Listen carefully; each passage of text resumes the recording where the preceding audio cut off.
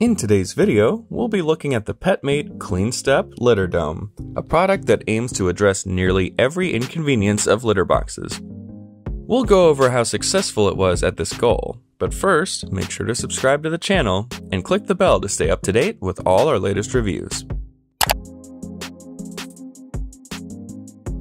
The PetMate CleanStep Litter Dome is a litter box with a domed shape, a small entrance, and an incline with studs on the steps. It arrives in pieces, but assembly is simple and intuitive.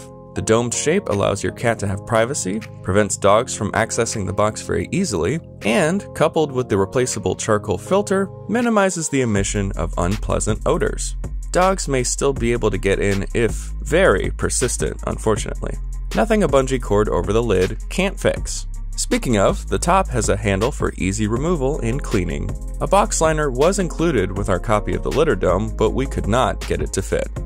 TTPM cats Harley and Lola tried out the CleanStep litter dome. They were both wary at first, but eventually they started using it. We noticed that the steps were very effective at cleaning paws, reducing mess, and tracking. As mentioned, the dogs were unable to get in, and the charcoal filter worked like a charm. How many pets do you have? Let us know down in the comments.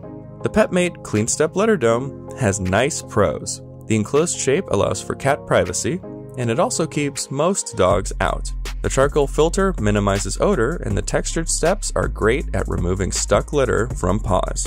The top handle is also quite convenient for easy access. Cons are that the provided box liner does not fit the product, and that particularly tenacious dogs may still be able to knock the top off, necessitating reinforcement.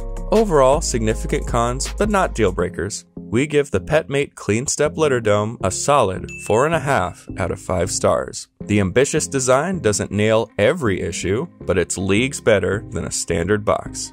Thanks for watching. Don't forget to subscribe for even more weekly pet reviews.